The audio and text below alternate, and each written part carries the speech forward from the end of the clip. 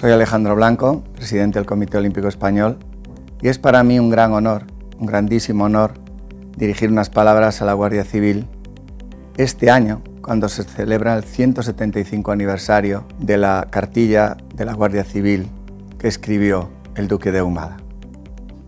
Hablar de algo que se escribió hace 175 años y que se mantiene vigente, cuando todo ha cambiado, todo en la sociedad, todo en la vida ha cambiado, significa que aquellos principios eran fuertes, eran sólidos, eran creíbles y eran realizables.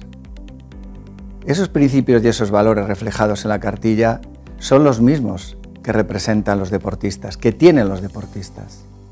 Hablar de honor, hablar de prudencia, de trabajo individual y en equipo, hablar de respeto, hablar de sacrificio, de compromiso, de pasión y de nobleza en el desarrollo de un trabajo, significa que la Guardia Civil es una vocación y que todos están defendiendo España y luchando por España, luchando por todos nosotros porque lo sienten, porque lo viven. Hoy, sin ninguna duda, España sigue siendo un gran país un país admirado y respetado en todo el mundo.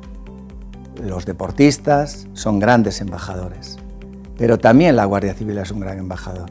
Todos y cada uno de nosotros mostramos a través de nuestras palabras el respeto, el aplauso, el apoyo, pero sobre todo el cariño hacia todos los que formáis este cuerpo tan maravilloso que es la Guardia Civil. Ojalá dentro de 175 años podamos seguir todos juntos, estemos en donde estemos, podamos estar pensar, soñar y trabajar juntos por una España, por una España mejor. Tenéis que ser conscientes de que tenéis en el Comité Olímpico Español el deporte os apoya, os aplaude, os respeta y sobre todo os quiere. Muchísimas gracias a todos.